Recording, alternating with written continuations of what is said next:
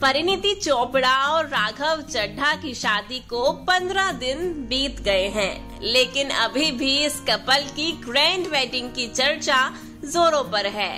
रोज़ाना वेडिंग की नई नई फ़ोटोज़ सोशल मीडिया पर वायरल हो जाती हैं।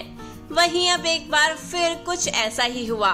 हाल ही में परिणीति और राघव की शादी की कुछ अनदेखी फ़ोटोज़ वायरल हुई हैं, जिसमें चूड़ा और हल्दी सेरेमनी से लेकर सूफी नाइट और फेरों की तस्वीरें भी शामिल हैं। 24 सितंबर को उदयपुर में फेरे लेने से पहले इस कपल ने दिल्ली में अपनी प्री वेडिंग फ़ंक्शन किए थे दिल्ली में सूफी नाइट का आयोजन हुआ था जिसमें एक्ट्रेस ग्रे कलर के सूट में नज़र आई फ़ोटोज़ में कभी पति राघव संग पोज देती दिख रही हैं, तो कभी फैमिली और दोस्तों के साथ नज़र आ रही हैं।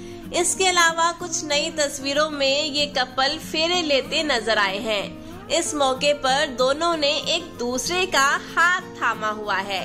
शादी में एक्ट्रेस ने डिज़ाइनर मनीष मल्होत्रा का खूबसूरत लहंगा पहना था। तो वहीं राघव सुंदर शेरवानी में नज़र आए। ऐसी ही कुछ इन्फॉर्मेशन के लिए हमारे चैनल को सब्सक्राइब कीजिए।